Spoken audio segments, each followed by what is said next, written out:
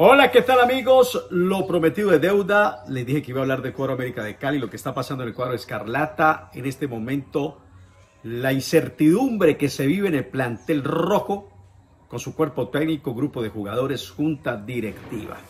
Vamos a empezar por partes. Lo primero, Juan Carlos Osorio tiene el respaldo de la junta directiva. Pocas palabras, tiene el respaldo de don Tulio Gómez, de su familia y de las personas cercanas a la familia de don Tulio Gómez. Ellos no van a sacar al profesor Juan Carlos Osorio. Hoy, de la única forma que se va Juan Carlos Osorio es que el profesor renuncie, que determine irse, que llegue a un acuerdo, que diga, me voy, no pude más, no quiero más, me aburrí, lo que sea, y se vaya de la América de Cali. Pero que ellos determinen, es que profesor, mire, los números no son malos, los números son perversos. Porque los números que tiene América hoy, para lo que es Juan Carlos Osorio, no son flojos, no son malos, son muy malos, son perversos. Así están los números del cuadro escarlata. Es de la única forma. Pero no lo van a hacer ellos. Lo tiene que hacer el profesor. Es la primera parte.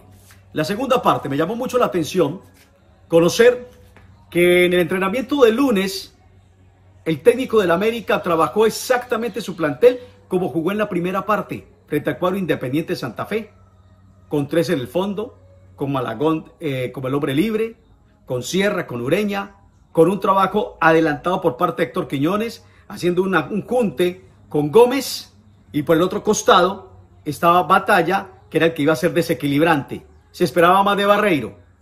Y en la pelota quieta, en los tiros de esquina, en la táctica estacionaria, siempre Gómez iba a ir y la iba a tocar normalmente con Batalla o con Quiñones para a través de esto buscar el centro y que llegara y Sierra apareciera como apareció efectivamente en el primer gol. Hasta ahí todo perfecto. Hasta ahí aplaudible. Hasta ahí todo diciendo, este es el mejor primer tiempo que le hemos visto a la América con Juan Carlos Osorio. Pero resulta que ese trabajo que realizó el cuadro americano el lunes, con el visto bueno del técnico, y que para nosotros fue el mejor primer tiempo visto por el América, cuando los jugadores entran al vestuario, Juan Carlos Osorio llega disgustado, porque no le gustó el trabajo del América en la primera parte. Y en especial los últimos minutos, cuando comienza a apretar por lógica circunstancia el cuadro independiente Santa Fe, América se replega. Ahí se disgustó el profesor. Entonces, en vez de decirles, vamos muy bien en un manejo que creo que él tiene de vestuario, lo que le dijo es, se me está cayendo, esto estuvo muy mal, no me gustó para nada.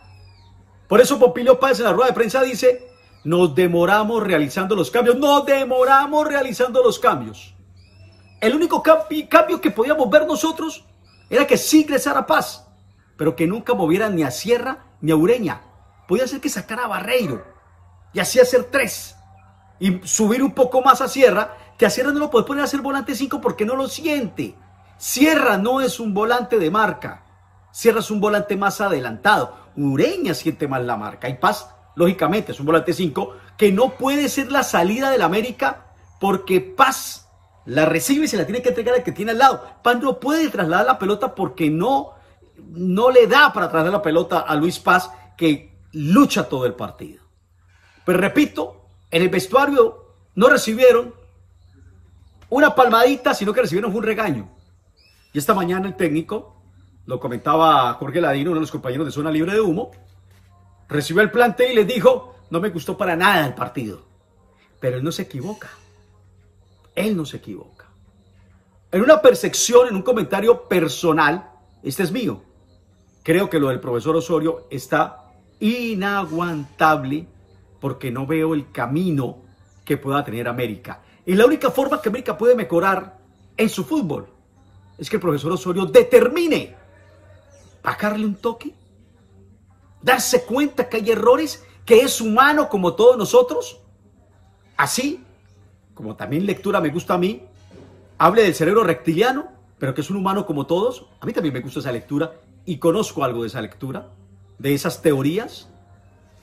Pero si no le, mar, no le merma, América no tiene fútbol con lo que plantea él, que quiere demostrarle a todo el mundo que él sabe mucho Innecesariamente porque todos sabemos que lee bastante, pero en la práctica no está, no tiene la claridad para conectar a sus jugadores con lo que él quiere que el plantel haga.